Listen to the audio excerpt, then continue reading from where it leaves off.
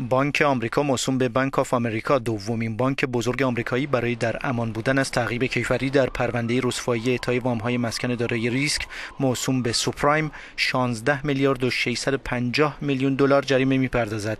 بیش از 9 میلیارد دلار از این مبلغ به حساب دستگاه قضایی می رود و حدود 7 میلیارد بقیه آن به عنوان غرامت به مشتریان این بانک پرداخت خواهد شد. این یکی از مهمترین تدابیر حمایتی و کمک به مشتریان است. تا کنون یک نهاد مالی موظف به پرداخت چنین رقمی نبوده است. صدها هزار آمریکایی که برای بیرون کشیدن خود از بحران اقتصادی مبارزه می کنند از این توافق بهره خواهند برد.